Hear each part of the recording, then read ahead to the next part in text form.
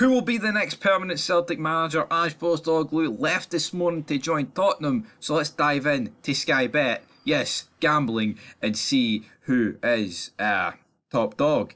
And uh, yeah, we're going to start from the bottom, which is your 100 to 1 shots. There's no one else here. I seen Adi Hutter and I thought it was something else, beginning first first name A, second name H. But uh, yeah, let's dive into it. Tony Mowbray, 100 to 1. No bad. Sam Allardyce, I mean, of course, I mean, i will try and fly through these ones, right? Uh, Sam Allardyce, I mean, I had, no, never, but he just got sacked for Leeds. Robbie the Proddy, no. Peter Bozos, no. Mourinho, no. Jack Ross, no. Dean Smith, uh, no. Conte, nah, I feel like Conte's going to go back to Italy. Andrei Shevchenko, no. Adi Hutter, no idea. Steve Bruce, no. Scott Parker, no. Uh, Higgins, no. Paolo Di Canio, no. Lucien Favre, no. Ivan Juric, no. Henrik Larsson, I mean, like the, the, the position that Ange has left Celtic in, you could be like a former player just wanting a crack at it, but Celtic surely are going to want somebody who's actually managed before and is capable. With Larsson, you know, uh, fuck, is, is, I don't even know. Has Larsson even managed a game? Is he a manager? I don't even know.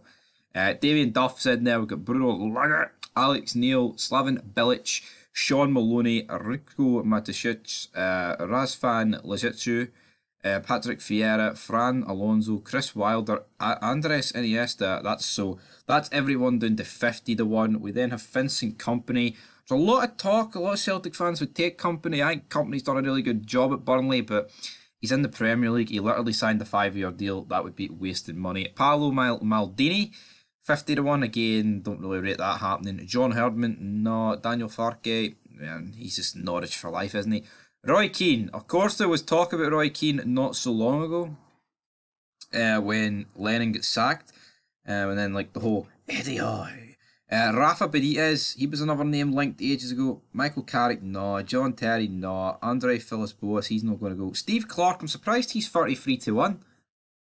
If I'm being honest, 33 to 1 for Steve Clarke, That's that's no bad though. I don't think he would leave Scotland, but I think if Celtic approached him, like, uh, you know, would spice things up. Uh, Neil Lennon, I'm surprised he's 43 to 1. Miguel Angel Sanchez, no idea who he is. Uh, Bo Svensson, is that the Bodo Glimt one? I'm not too sure. Scott Brown, 25 to 1. It's, I'm surprised that Scott Brown is actually, you know, better odds than the, like Lennon, for example. Uh, we've got Ralph Hasenhüttl, Paul Brito, Martin O'Neill, and Francisco Farioli, all 25 to 1 with Scott Brown. Uh, then we move in to our top dogs, guys.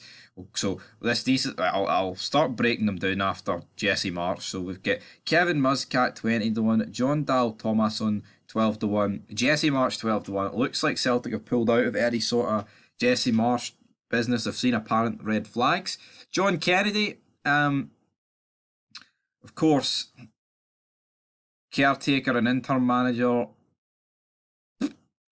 He, mean, technically, right as of right now, John Kennedy is the interim manager, but there's a lot of talk that Ange wants to bring his backroom staff to uh, London. So I maybe John Kennedy would go. Graham Potter, I feel like Graham Potter wouldn't go to Celtic. I feel like the fact he went from Brighton to Chelsea, he he's probably angling it for another big Premier League job.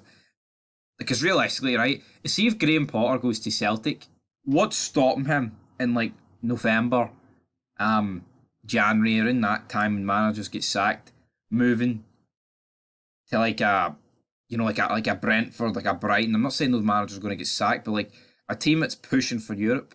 I, I don't think I think he'd go. I think he'd I think he'd literally fucking just leave Celtic high and dry. Personally, Davy Moyes eight to one course, it'd be a return to Celtic, return to Scotland. I could see it happening. Uh, Kjetil Knutsen, is that the Bodo Glimt manager? I'm not too sure. Must be. Brendan Rodgers, though, at 5 to 2, of course, currently managing no one at the minute. So, again, that is a realistic opportunity, but he seemed to have ruled himself out of it. But if he truly ruled himself out of it, he'd be worse than 5 to 2. And then we've got the favourite, Enzo Maresca, who's a part of the City group. Uh, I believe he's like a Man City assistant manager mean, it's worked out all right for Arteta at Arsenal, but is that really who Celtic want to bring in? An assistant? Damn, who knows? But I mean, Pep's assistant's better than John Kennedy. So anyway, guys, till next time, there you go. Who will it be? Leave your thoughts down below.